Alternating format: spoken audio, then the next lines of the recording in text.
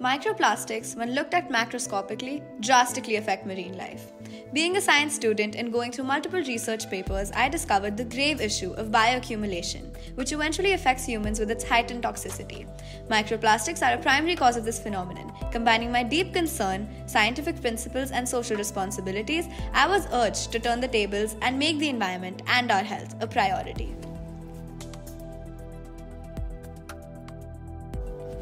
People tend to neglect the accumulation of plastic under the ocean since they cannot look at the issue directly.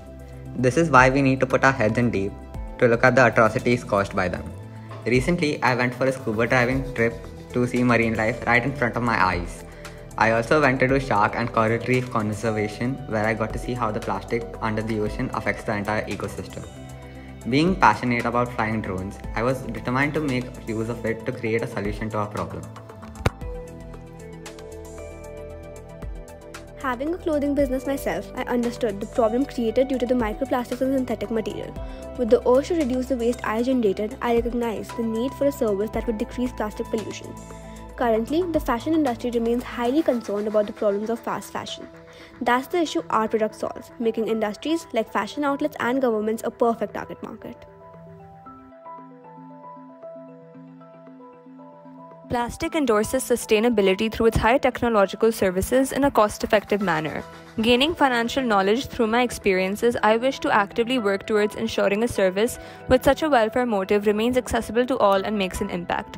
These costs will be recovered primarily through crowdfunding, CSR funds, sustainability focused grants, and green bonds. Moreover, a subscription model scheme will depend on the area the companies plan on sweeping, which will help gain revenue.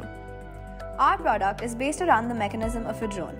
It consists of a compartment that stores our abaca fiber net, which is placed into the water in a conical shape, allowing marine animals to pass through if stuck. Next, we have a sprinkler in the middle to help release the ferrofluids in the vicinity of the net.